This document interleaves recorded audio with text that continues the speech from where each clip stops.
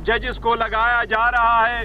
हम समझते हैं कि ये बदनीयती पे मुनहसर है। पाकिस्तान तहरीक इंसाफ, सत्तर फ़ीसद पाकिस्तानियों की तर्जुमान तर्जुमान जमात है। इस पे कोई भी पाबंदी हुकूमत के खत्म होने की तरफ़ काउंट डाउन होगा। हमारे मेंबर सूबाई असेंबली और कौमी असेंबली झूठी एफ़ आई आरों में उठा रहे हैं। कोई हमारी इस पेट्रियटिज्म पे कोई उंगली भी नहीं उठा सकता। पाकिस्तान तहरीक इंसाफ को बैन करने की बातें हो रही हैं। मैं वाज तौर पे ये बात करना चाहता हूँ। किसी का बाप भी पाकिस्तान तहरीक इंसाफ को नहीं बैन कर पीटीआई ने एडहॉक जजेस की तैनाती की मुखालफत कर दी। सुप्रीम जुडिशल काउंसिल जाने का ऐलान। चेयरमैन पीटीआई बैरिस्टर गौहर कहते हैं कि सुप्रीम कोर्ट में एडहॉक जजेस की तैनाती बदनीयती पर मबनी है। इकदाम का मकसद अपने हम ख्याल जजेस को लगाना है। एडहॉक जजेस आज़ाद अदलिया के लिए मुसर है। हम मामला सुप्रीम जुडिशल काउंसिल में भेज रहे हैं। जजेस इस मामले को मुतनाज़ ना बनाए। उमर अयूब ने कहा कि हमारे अरकान असम्बली को झूठे मुकदमात में उठाया जा रहा है। हमारी हुबुलवती पर कोई उंगली नहीं उठा सकता। चीफ जस्टिस से गुजारिश है कि एडहॉक जजेस हमारे केसेस ना सुने। कहा पीटीआई पर कोई पाबंदी नहीं लगा सकता। शिबली फराज बोले कि आइन और कानून को जूते की नोक पर रखा जा रहा है। असद कैसर ने कहा कि पाकिस्तान को सरजमीन बे आइन बना दिया गया है।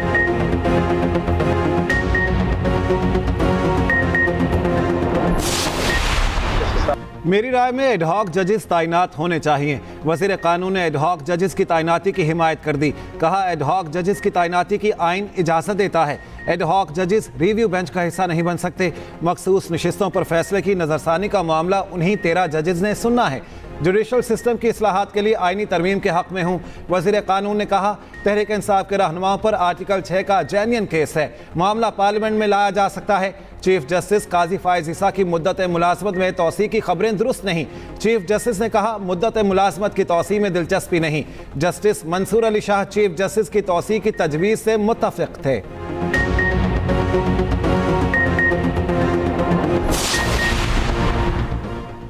हुकूमत ने पीटीआई पर पाबंदी का भी अभी इरादा ज़ाहिर किया है। इस पर आईनी तरीके से अमल किया जाएगा। रहनुमा लीग राना सनाउल्ला कहते हैं कि हुकूमत आर्टिकल 17 के तहत किसी भी पार्टी पर पाबंदी के लिए डिक्लेरेशन दे सकती है। काबीना मंजूरी देगी तो डिक्लेरेशन पंद्रह दिन में अदालत में पेश की जाएगी। अदालत डिक्लेरेशन से मुतमिन हो जाए तो पार्टी पर पाबंदी आयद हो जाती है। एडहॉक जजेस रखने का आइन में बाकायदा ज़िक्र है।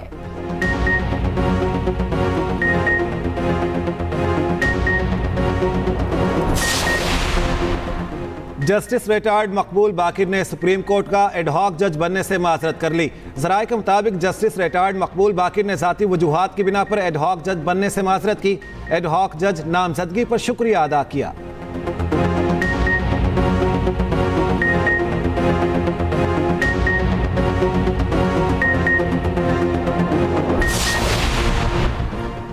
मखसूस नशस्तों के फैसले पर इलेक्शन कमीशन का इजलास कुछ देर बाद। इजलास चीफ इलेक्शन कमिश्नर की जेर सदारत होगा। सुप्रीम कोर्ट के फैसले पर गौर किया जाएगा। पीटीआई को मखसूस नशस्त देने से मुताल कानूनी निकात का जायजा लिया जाएगा।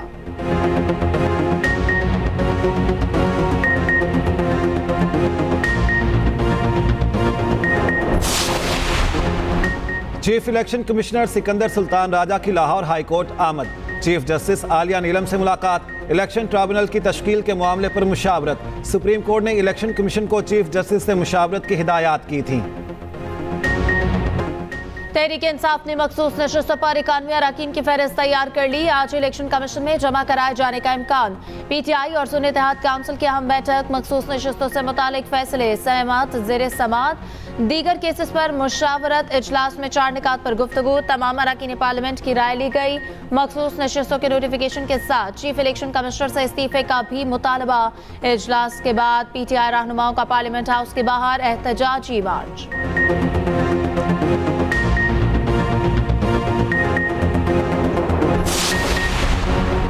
नए तोशाखाना रेफरेंस में बानी पीटीआई और बुशरा बीबी से तफ्तीश। नैब टीम की आज फिर अडयाला जेल आमद। एक घंटे तक पूछगछ। तोहफे में मिलने वाले बुल्गारी ज्वेलरी सेट से मुतालिक सवाल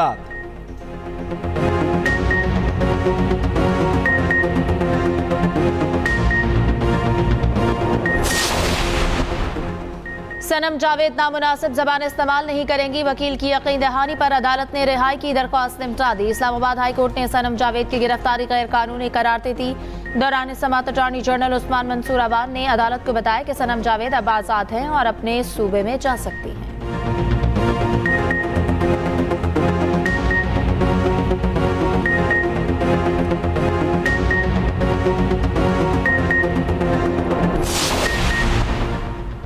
पीटीआई का चीफ इलेक्शन कमिश्नर के खिलाफ रेफरेंस दायर करने का इंदिया। पंजाब असेंबली में अपोजिशन लीडर अहमद खान भच्चर का कहना है चीफ इलेक्शन कमिश्नर मुस्ताफी ना हुए तो सुप्रीम जुडिशल काउंसिल में रेफरेंस दायर करेंगे। आर्टिकल छः इससे पहले भी लग चुके हैं। ये तमाम कार्रवाइयाँ सियासी बुनियादों पर की जा रही हैं। हम महँगाई के खिलाफ जल्द सड़कों पर आ रहे हैं।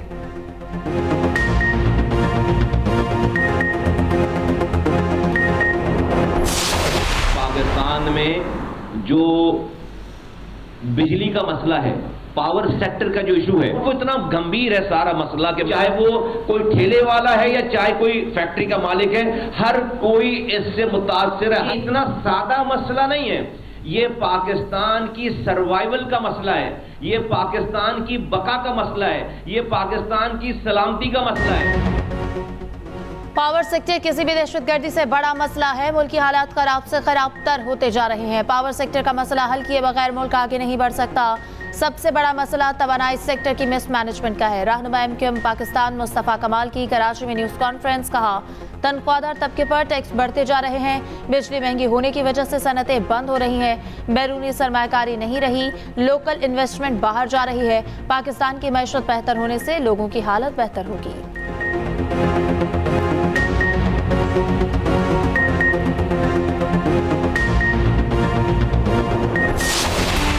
मानसून के एक और स्पेल की धुआंधार एंट्री। लाहौर समेत पंजाब के मुख्तलिफ़ इलाकों में बारिश, शेखपुरा, गुजरावाला, गुजरात, जहलम, हाफिजाबाद में भी मूसलाधार बारिश। गुजरात में क्वार्टर की छत गिरने से एक बच्चा जाँ बहक दो जख्मी। पिशावर और गिरदोनवाह में बारिश की वजह से नशेबी इलाके जेर आब।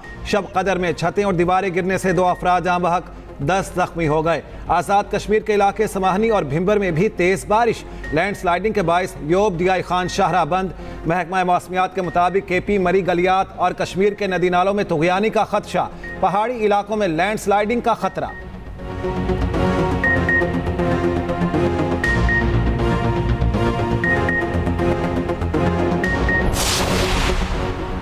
कराची में शदीद गर्मी, जाने लेने लगी 24 घंटों के दौरान 19 लाशें बरामद। शीपा और रेस्क्यू के मुताबिक तमाम अफराद नशे के आदि थे। शदीद गर्मी में नशे की ज्यादती से अमवात हुई। कराची में जुलाई की गर्म, तरीन रात का एक और रिकॉर्ड टूट गया। महकमे मौसमियात के मुताबिक आज कम से कम दर्जा हरारत बत्तीस अशारिया पाँच डिग्री सेंटीग्रेड रिकॉर्ड हुआ। शहर में समंदरी हवाएँ बहाल, मजाफाती इलाकों में बारिश का इम्कान। सदर और वज़ीर अजम का अमरीकी सदर बाइडन की सेहत से मुतालिक नेक ख्वाहिशात का इजहार। एक्स पर पैगाम में वज़ीर अजम शहबाज शरीफ ने कहा, ख्वाहिश है जो बाइडन कोरोना से जल्द और मुकम्मल सेहतियाब हों। सदर आसिफ अली जरदारी का भी सदर बाइडन की सेहत के लिए नेक तमन्नाओं का इजहार। स्टॉक मार्केट एक बार फिर तारीख की बुलंद तरीन सतह पर 100 इंडेक्स में सात सौ अड़तीस पॉइंट्स का इजाफा। दौरान ट्रेडिंग इंडेक्स इक्यासी हज़ार आठ सौ पर पहुँच गया। उधर इंटरबैंक मार्केट में डॉलर दस पैसे महँगा।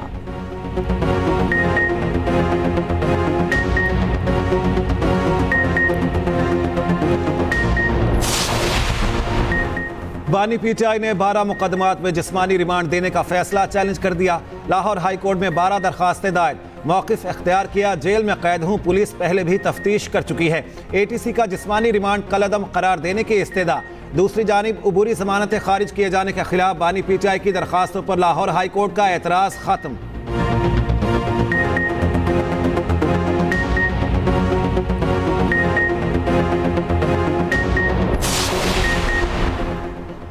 मुजफ्फरगढ़ से एमएनए मौसम, अली जतोई करप्शन केस में गिरफ़्तार, रिमांड के लिए एंटी करप्शन कोर्ट पे पेश किया जाएगा। चेयरमैन पीटीआई बैरिस्टर गौहर ने गुजशत रोज मौसम जतोई के अगवा का दावा किया था। उधर पीटीआई के एमएनए जमशेद दस्ती और उनके भतीजे समेत 20 अफराद के खिलाफ दहशतगर्दी एक्ट के तहत मुकदमा दर्ज।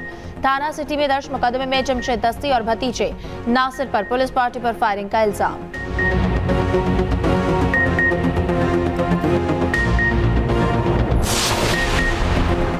नौ मई को थाना शादमान, लाहौर जलाने के मुकदमात की कोच लखपत जेल में समाप्त यासमीन राशिद, उमर सरफराज चीमा और एजाज चौधरी समेत नौ मुलजिम अदालत पेश।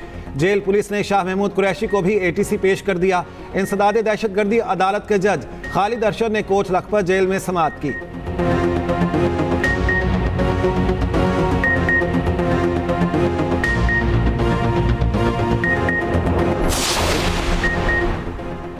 मुल्क सियासत में आर्टिकल छह लगाने की खबरें गर्म, संगीन गद्दारी के मुकदमात की समात खसूसी अदालत कर सकती है। अदालत हाईकोर्ट के तीन जजेस पर मुश्तमिल होती है, जो सरकारी गजट नोटिफिकेशन से कायम की जाएगी।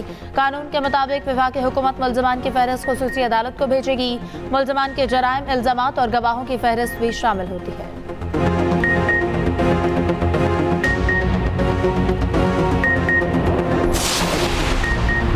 बोर्ड ऑफ़ डायरेक्टर्स ने पाकिस्तान स्टील बंद करने की मुखालफत कर दी। चेयरमैन बोर्ड का सदर वज़ीर आज़म वज़ीर खजाना chairman S I F C को खत। कहा, काबीना ने फैसला नाकिस मशवरे पर उजलत में किया। फैसले में शफाफियत है न कौमी मुफाद में है। स्टील मिल बंद करने से संगीन, मुआशी और समाजी नतज बरामद होंगे। बोर्ड ऑफ़ डायरेक्टर्स का पाकिस्तान स्टील की बंदिश का फैसला वापस लेने का मुतालबा।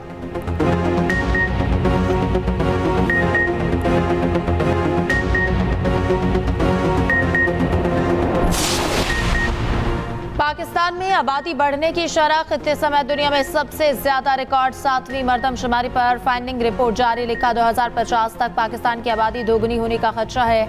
मुल्क में ढाई करोड़ बच्चे स्कूलों से बाहर। हैं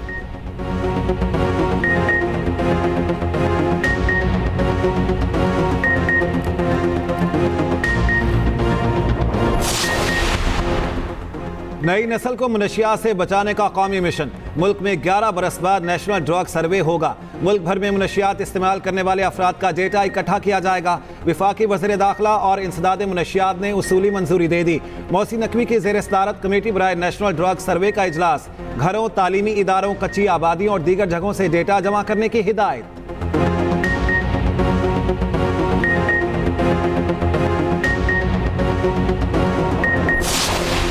विमेंस एशिया कप का मिशन पाकिस्तानी टीम अपना पहला मैच कल रिवायती हरीफ भारत के खिलाफ खेलेगी।